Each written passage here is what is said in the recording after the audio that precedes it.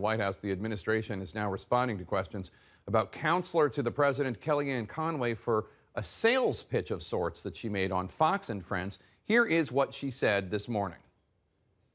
They're using the most prominent woman in uh, in Donald Trump's, uh, you know, most prominent. Right. He's she's his daughter, and and they're using her, who's been a champion for women empowerment, Sure. women in the workplace, uh, to get to him. Just, so I think uh, people can see through that. 30 Go buy. Ivanka's stuff is what I would tell. I'm gonna. I'm gonna. Well, get, I there- hate shopping. I'm gonna go get some on myself today.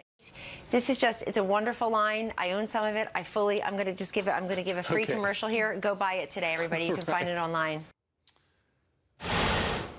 Not a surprise. That's today's installment of Conflict of Interest Watch. And CNN Money correspondent Cristina Alesci joins me now. Cristina, the White House didn't clear up a- a whole lot, saying that she had been counseled.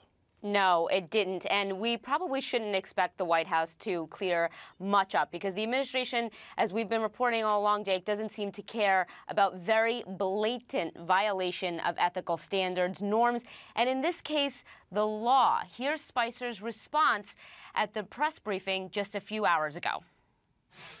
Kellyanne has been counseled, um, and that's all we're going to go with. She's been counseled on, on, on that subject, and um, and that's that's it. Now, critics are already saying his response was tepid in the face of public outrage. That uh, Trump still shows that, you know, it, it still shows that uh, the White House is taking Kellyanne's comments seriously, but perhaps they went too far.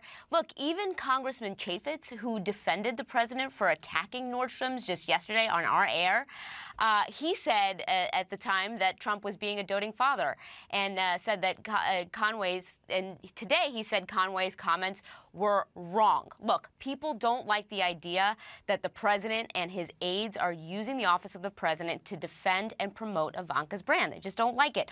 Phone lines at the Office of Government Ethics are flooded. Their website crashed today, and my legal and ethics sources can't believe what happened. But the blowback at the end of the day may not amount to much because enforcement falls within the White House. And the most serious punishment for this kind of thing is dismissal. It's not a criminal offense, Jake. That said, I've been reporting on how little separation there is between the president and Trump org. Now the question is, does that apply to the apply to the entire White House staff? Interesting. And Conway suggested, and so did Spicer yesterday, Sean Spicer, the press secretary, that Nordstrom's decision was politically motivated uh, to drop her line, Ivanka Trump's uh, line. Was it? Well, Nordstrom says it was pure a purely business decision that sales of the brand had been declining to the point where it made good business sense uh, to discontinue the line. Now, look, I spoke to people at Ivanka's company a couple of months ago, and they said the brand was targeting millennial women in urban areas. Well. Guess who isn't a fan of Ivanka's uh, brand right now? Millennial women in urban areas. So it's not hard to see why Nordstrom and now other retailers are backing away from their previous relationship here, Jake. And we can expect to see this play out over the next weeks and months because that online petition to boycott Ivanka's brand that started with a millennial woman um, seems to be gaining some steam here. Interesting. Cristina Alesci, thank you so much.